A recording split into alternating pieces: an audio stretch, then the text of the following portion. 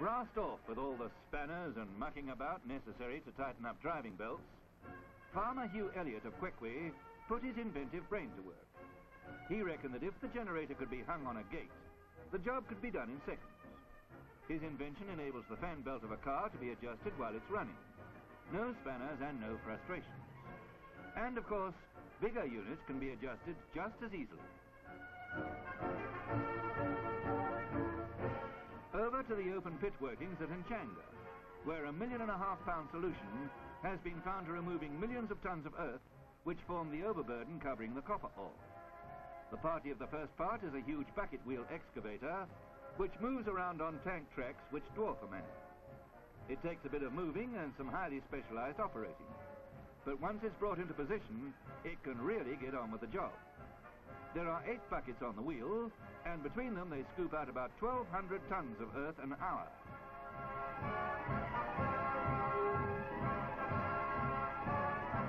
Whipping the earth over the top, the buckets discharge it onto a conveyor belt, the start of several miles of conveyor belts. Passing to the rear of the bucket wheel excavator, the sand goes from one unit to another in an elaborate conveyor system which gets it well out of the way. Rather like a railway, the system is controlled from a sort of central signal cabin.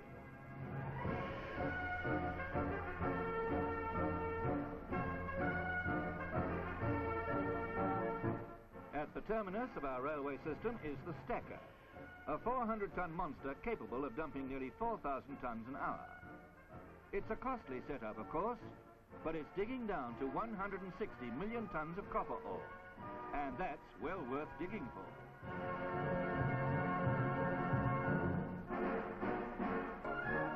The wonder hole at Sinoia Caves is a famous landmark, and the myth of the bottomless pool has recently been exploded by members of the Salisbury branch of the British Sub Aqua Club.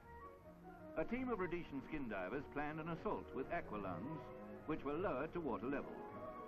Although only two divers plummeted to the final depths, the others were ready to assist and render help if it became necessary. And as a matter of fact, it was necessary. And new oxygen bottles were taken down to the two divers while they were on their way up.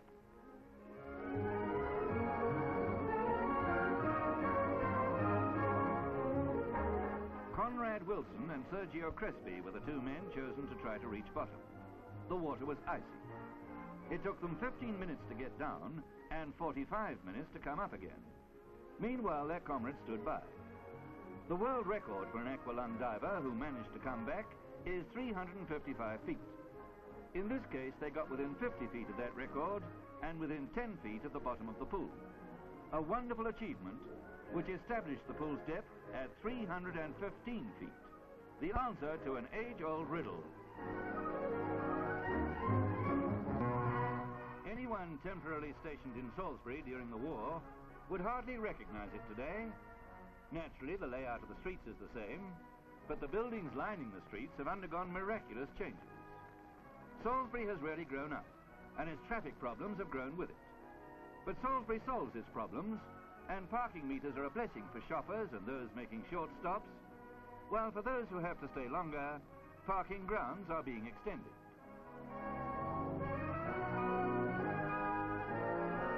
No one knows the full story better than the City Architect's Office, which approves the plans of future buildings.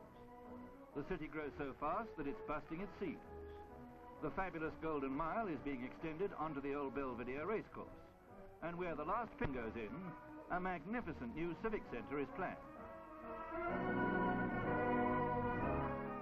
Since Salisbury became the capital of the Federation, its outlook has undergone a remarkable change.